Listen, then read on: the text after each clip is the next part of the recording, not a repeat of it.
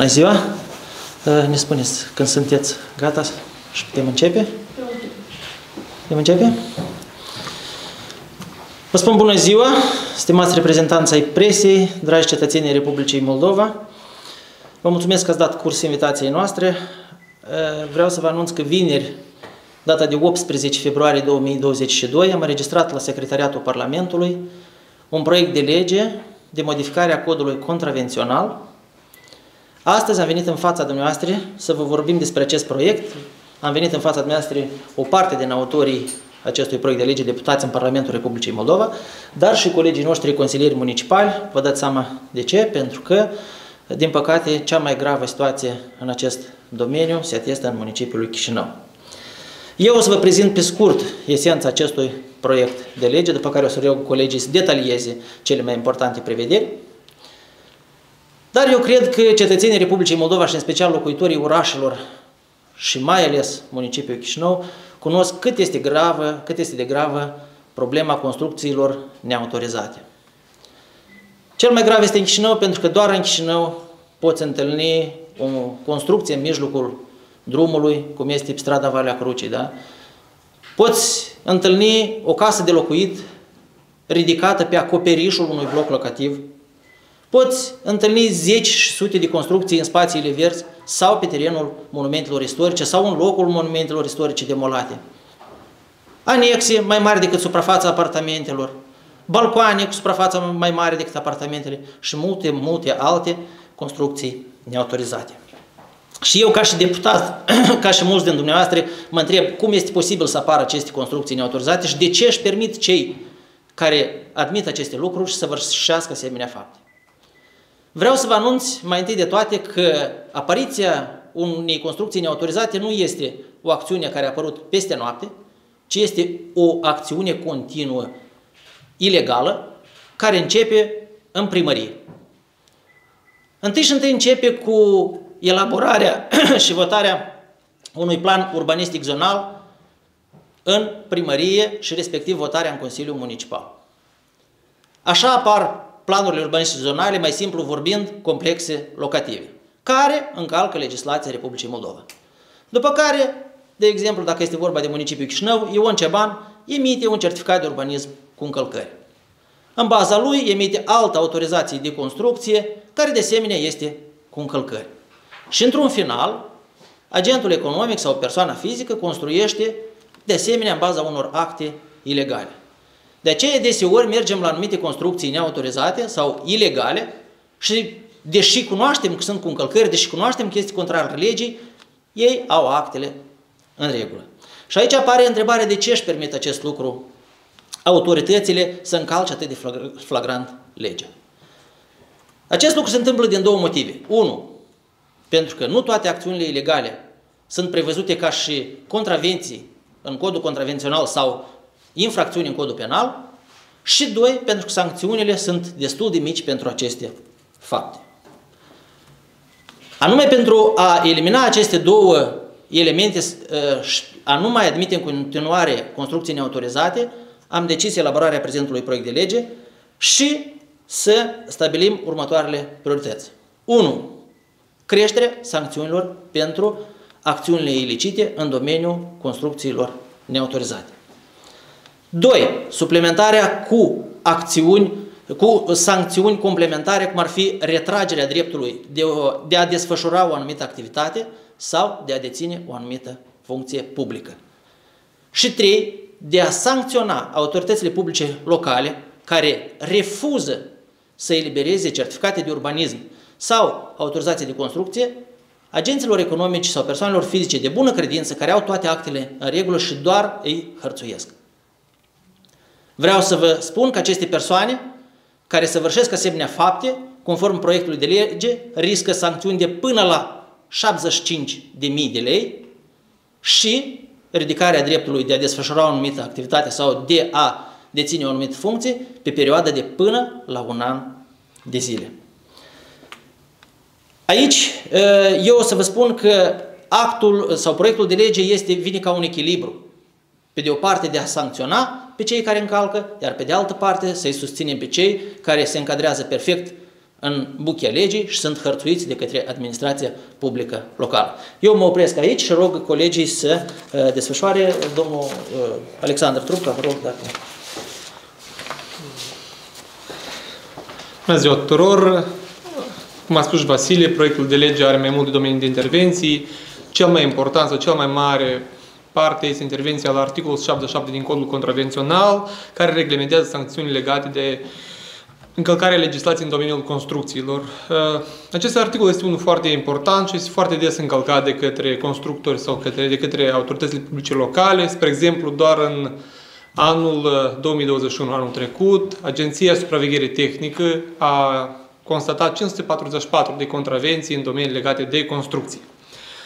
La elaborarea modificărilor aferente acestui articol, noi am pornit la scopul primordial al legii contravenționale, care, pe de o parte, are obiectivul principal de a apăra drepturile și libertățile fundamentale ale cetățenilor, dar, pe de altă parte, are scopul de a preveni săvârșirea unor contravenții pe viitor. Și evident că, în acest sens, legea poate să-și atingă scopul doar atunci dacă sancțiunile care le prevede cadrul normativ au capacitatea să preîntâmpine anumite acțiuni ilegale.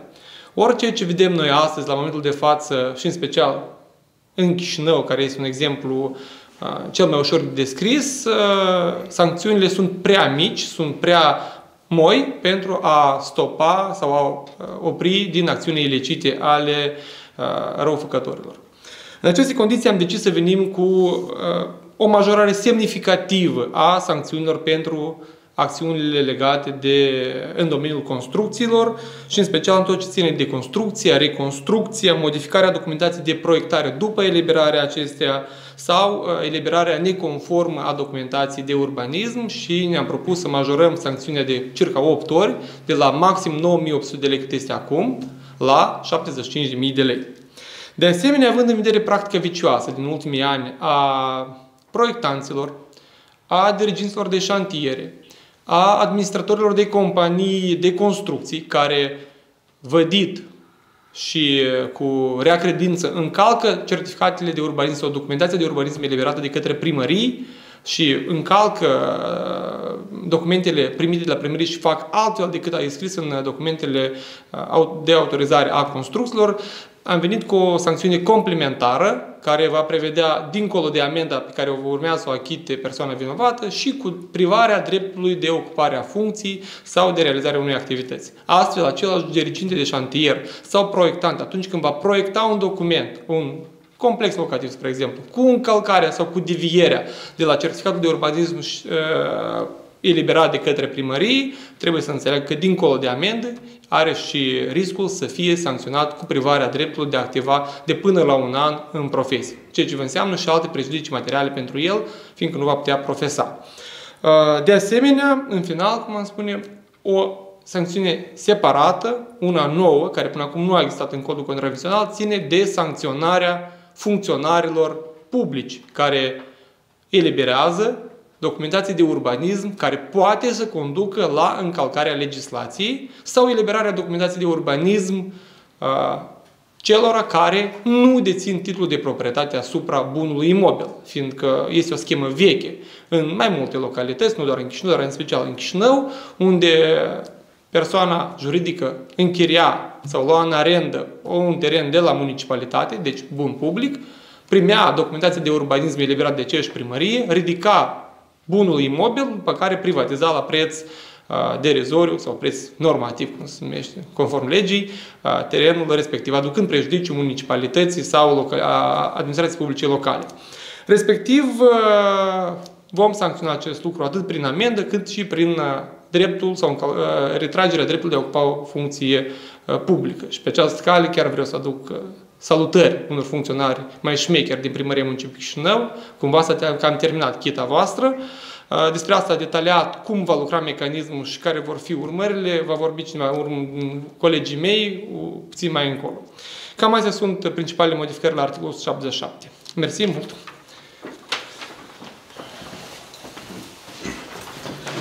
Bună ziua!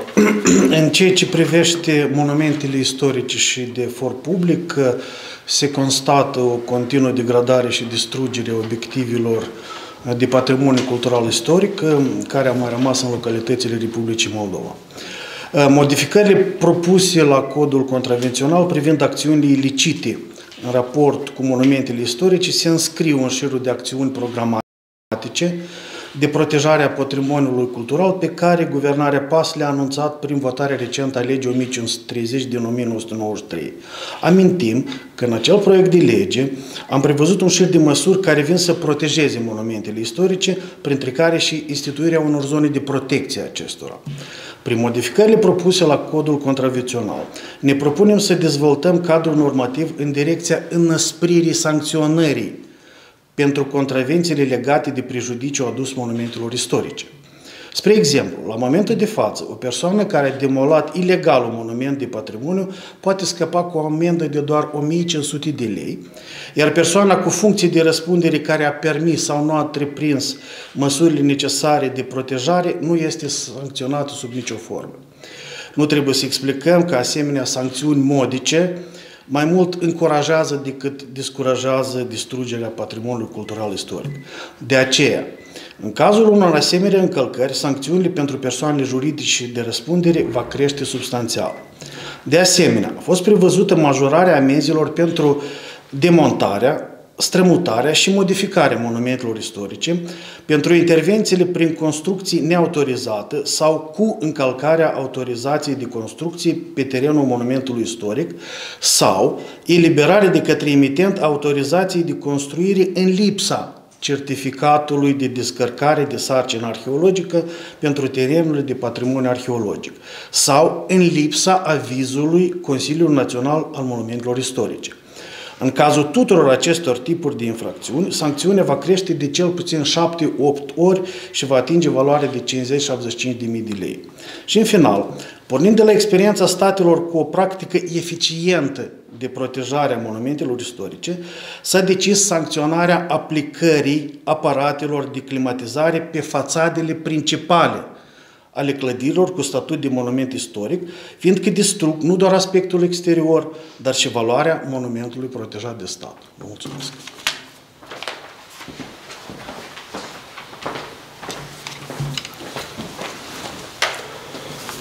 Bună ziua!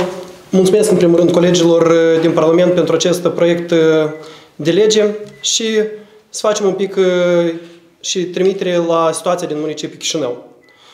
Una din uh, cele mai des întâlnite ilegalități pe care le practică autoritățile publice locale și aici în special și în municipiul Chișinău vorbesc despre ilegalitățile în domeniul construcțiilor este atunci când se eliberează documentație de urbanism pe terenurile care nu aparțin agenților economici. Schema era una clasică, când un agent economic lua în arendă de la municipiul Chișinău un teren, pentru acest teren se eliberau documente permisive, certificat de urbanism, autorizații de construcție, după asta erau ridicate zeci de blocuri locative și, ca urmare, aceste, acest teren era sau și este privatizat la preț normativ. Astfel de abateri și astfel de cazuri au fost uh, menționate în uh, multe rapoarte ale organelor de control, inclusiv în raportul Curții de Conturi, și unde a fost constatat că doar în ultimii 15 ani în municipiul Chișinău a pierdut și a fost uh, prejudiciat bugetul cu miliarde de lei. A, această schemă, de fapt, a fost uh, oprită de către proiectul de lege care a fost votat în 2020 datorită domnului Vladimir Bolea și modificările la legislație care au fost uh, efectuate. Dar, totodată, aceste încălcări mai continuă și anume pentru a contracara astfel de situații, a fost decis să fie majorate semnificativ amenziile pentru aceste acțiuni, majorându-le până la 25.000 de lei dar și adăugând sancțiunea complementară de interdicție de ocupare a funcției de răspundere pentru un termen de până la un an. Deoarece avem astfel de cazuri chiar și în primăria municipiului Chișinău, iar funcționarii, bine mersi, mai sunt în funcție. O altă intervenție importantă pe care ne-o propunem în proiectul de lege constă în sancționarea funcționarilor care utilizează abuziv de situații și de prevederile legii privind acordul tăcit de emitere a actelor. Ce se întâmpla până acum? Șmecherii, agenții economici, dezvoltatori, depuneau cerere la primărie, iar funcționarul vădit cu rău, rău intenționat nu vedea această, această cerere și nu dădea în termen răspuns. Respectiv, acest document era considerat aprobat tăcit. Iar astfel de cazuri avem o mulțime în municipiul Chișinău, iar cel mai relevant caz este pe Coca 7, unde pe 6 ari, în mijlocul unui cartier rezidențial, este construit un bloc locativ cu 11 etaje. Totodată, având în vedere că pe piața imobiliară există și suficienți agenții economici, dezvoltatori, constructori de bună credință, am venit și cu un suport către ei și a fost prevăzute sancțiuni de până la 75.000 de lei și privarea de a ocupa o funcție pe un termen de până la un an pentru funcționarii care, în mod abuziv, nemotivat, încalcă termenul de eliberare a documentației de urbanism sau refuză eliberarea acesteia. Așa cum se poate vedea, intervențiile propuse au un caracter complex și vin să sancționeze mai dur pe cei care nu doresc să respecte legea, dar și vin în ajutorul celor agenți economici, celor dezvoltatori care sunt de bună credință. Și în special, aceste modificări sunt pentru societate și pentru dezvoltarea corectă a localităților. Mulțumesc! Analizând cele expuse mai sus, nu rămâne decât să conchidem și să venim către societate cu câteva concluzii. Deci, unu, venim cu un apel către persoanele fizice și juridice ca să înceteze să mai construiască neautorizat. Doi, venim cu un apel către administrațiile publice locale să nu emită acte permisive ilegale. Pentru că atunci când vor veni după ei organele, structurile de forță, să nu acuze că sunt influențe politice sau mai știu eu ce altceva. 3. Monumentele istorice sunt cei ce ne definește și cei ce trebuie protejat și nu distrus. Noi vom depune toate eforturile ca să protejăm monumentele istorice. Și 5. Noi încurajăm persoanele fizice și juridice care desfășoară activitatea corect, onest, și în strictă concordanță cu legea, să o facă și să notifice orice abuz din partea autorităților publice locale care vor fi aspru pedepsit pentru încercarea de a utiliza pârghiile pe care le au împotriva agenților economici de bună credință. Această acțiune vine la pachet sau vine în continuarea unor, unui pachet de modificări care au avut loc până acum Știți probabil că anterior am modificat legea 1530 privind protecția monumentelor istorice pentru a le proteja.